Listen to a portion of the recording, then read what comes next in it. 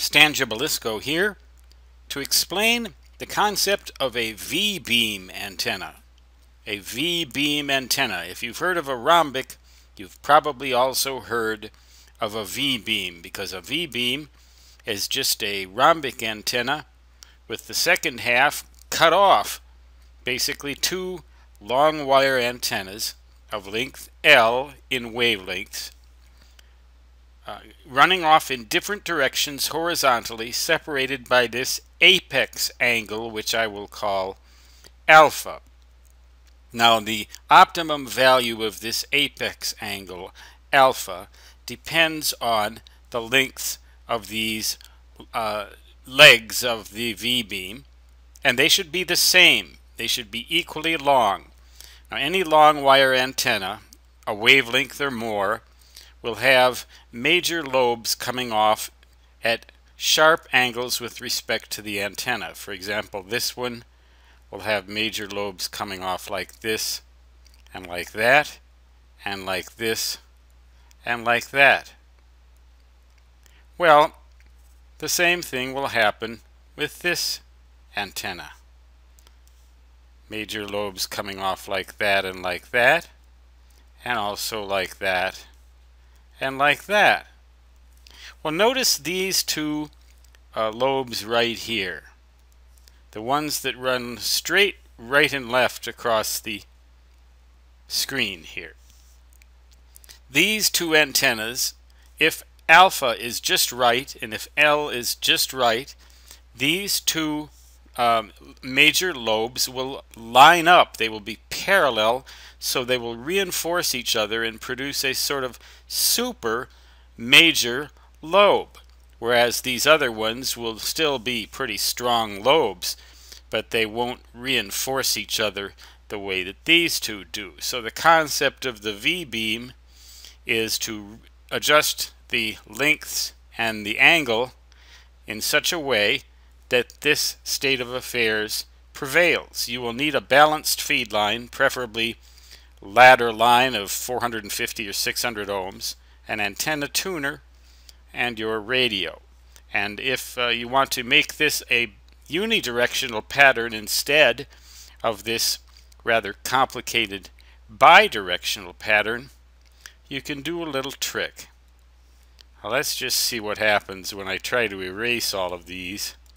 See what else dies along with it. See what other goofy stuff happens. By the way, my call sign is W1GV Whiskey 1 Good Vibrations, operating from the black holes of Dakota Territory, United States of Advertising, in the little town of Lead, the old mining town of Lead, where now they have a deep underground science and engineering laboratory. You can look that up uh, on my website under Neutrino Lab, I believe it's called. Anyway, getting back to the concept of the V-beam and how to make it unidirectional, what you can do is you can terminate each end of this antenna with a non-inductive resistor. That non-inductive resistor will have to have a power dissipation rating equal uh, up to the task of dissipating half of the transmitter output power. Actually, each one of these two antennas, because they share the signal, will have to be able to dissipate one-fourth of the transmitter output power. And you may ask, well, why would you want to dissipate all that power and waste it? Well, what tends to happen with any long wire antenna that's terminated like this, with an, generally speaking, approximately 600 ohm non-inductive high wattage resistor, which you'll have to fabricate for yourself. You won't find it in the stores. When you terminate a long wire like this, you get rid of the back lobes. So these lobes that run off towards the left in general will disappear. So you'll only end up with these.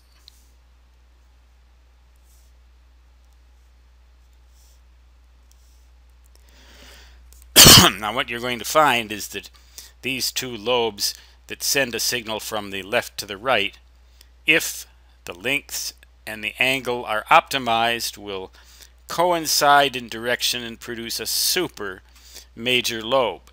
You'll get minor major lobes going off like that. Uh, and you'll also, uh, you, you will note, however, you will not get these other lobes going off in the other directions, backward.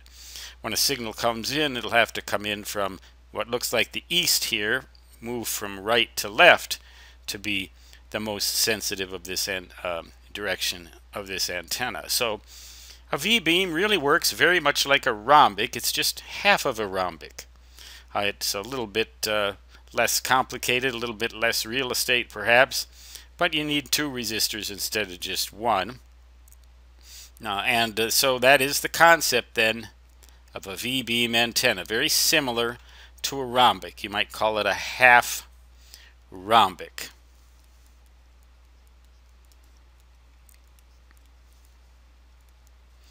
You know, I write bad enough to make your pharmacist green with envy. But I hope you can read this and understand the basic concept here. Stan Gibilisco, proprietor and operator of amateur radio station W1GV, saying 73 now, which means best regards in ham radio jargon, and